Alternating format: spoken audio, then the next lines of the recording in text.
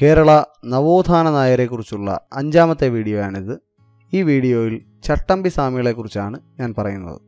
ചട്ടമ്പി സ്വാമികളുടെ ജീവിതകാലം ആയിരത്തി എണ്ണൂറ്റി അൻപത്തി മൂന്ന് മുതൽ ആയിരത്തി തൊള്ളായിരത്തി ഇരുപത്തിനാല് വരെയായിരുന്നു അദ്ദേഹത്തെ വിദ്യാധിരാജൻ എന്നായിരുന്നു അറിയപ്പെട്ടിരുന്നത്.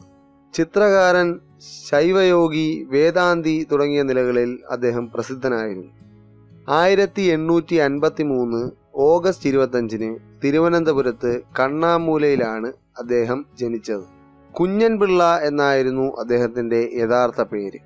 പഠന സാമർഥ്യം കൊണ്ട് ചെറുപ്പക്കാലത്ത് തന്നെ വിദ്യാധിരാജൻ എന്ന് പേരെടുത്തു. പഠനത്തിലുള്ള മികവ് കാരണം ചട്ടമ്പി അഥവാ മോണിറ്റർ എന്ന സ്ഥാനം ലഭിച്ചു. കുട്ടിക്കാലത്ത് ഗുരു പുലർത്തിയ ഐത്താചാരങ്ങളെ എതിർത്തുകൊണ്ട് യാഥാസ്ഥിതികത്വത്തെ വെല്ലുവിളിച്ചു. അന്യ സമുദായക്കാരായ സുഹൃത്തുക്കളുടെ വീടുകളിൽ പോയി ഭക്ഷണം കഴിച്ചതിനാൽ സവർണ സമൂഹം സ്വാമികളെ എതിർത്തിരുന്നു. ജീവകാരുണ്യത്തിലും അയിത്ത നിർമ്മാർജനത്തിലും ചട്ടമ്പി സ്വാമി വരുത്തിയത് പ്രായോഗിക വിപ്ലവമായിരുന്നു. ഫ്യൂഡൽ വ്യവസ്ഥയിലെ അഴിമതിക്കെതിരെ സ്വാമി നടത്തിയ പട്ടിസദ്യ ചരിത്ര പ്രസിദ്ധമാണ്. കുറച്ചുകാലം ആധാരമെഴുത്തുകാരനായും സെക്രട്ടേറിയറ്റിലെ കണക്കപ്പിള്ളയായും അദ്ദേഹം ജോലി നോക്കിയിരുന്നു. ഹിന്ദുമത ദൂഷണത്തിനെതിരെയും വൈദേശിക മതാധിപത്യത്തിനെതിരെയും സ്വാമികൾ ശബ്ദമുയർത്തിയിട്ടുണ്ട്. എല്ലാ മതങ്ങളുടെയും സാരം ഒന്നാണെന്ന് സമർത്ഥിക്കുന്ന സർവമത സാമരസ്യമാണ് ചട്ടമ്പി സ്വാമികളുടെ ആദ്യ കൃതി മലയാളത്തിലെ ആദ്യ വേദപഠനമായി വേദാധികാര നിരൂപണം വിശേഷിപ്പിക്കപ്പെടുന്നു. സ്ത്രീകളടക്കം എല്ലാവർക്കും വേദം പഠിക്കാമെന്ന് വേദപ്രമാണങ്ങൾ തന്നെ ചൂണ്ടിക്കാട്ടി ചട്ടമ്പി സ്വാമികൾ സമർത്ഥിച്ചു.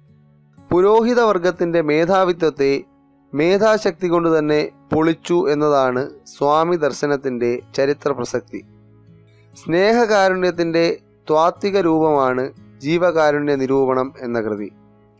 ആയിരത്തി തൊള്ളായിരത്തി മൂന്നിൽ ശാസ്താംകോട്ടയിൽ വെച്ച് നടത്തിയ അനൗപചാരിക പ്രഭാഷണത്തിലാണ് ഐത്തം അറബിക്കടലിൽ തള്ളേണ്ട കാലം അതിക്രമിച്ചു എന്ന് ചട്ടമ്പി സ്വാമികൾ പ്രഖ്യാപിച്ചത്. ഏറെക്കാലം അവധൂതനായി സഞ്ചരിച്ച ചട്ടമ്പി സ്വാമികൾ ആനന്ദകുമാരവേലു എന്ന സിദ്ധനിൽ നിന്ന് രഹസ്യമന്ത്രോപദേശം സ്വീകരിച്ചതായി പറയപ്പെടുന്നു. ചട്ടമ്പിയുമായി ശ്രീനാരായണ ഗുരു നീലകണ്ഠ തീർത്ഥപാദർ പരമഹംസ തീർത്ഥപാദർ എന്നിവർ നടത്തിയ സമാഗമങ്ങൾ ചരിത്രത്തിന് പുതിയ ബോധോദയം നൽകി. കുട്ടിക്കാലം മുതൽ തന്നെ തികഞ്ഞ സസ്യഭുക്കായി ജീവിച്ച ചട്ടമ്പി സ്വാമികൾ അഹിംസാ സങ്കല്പത്തെ പ്രായോഗികമാക്കി.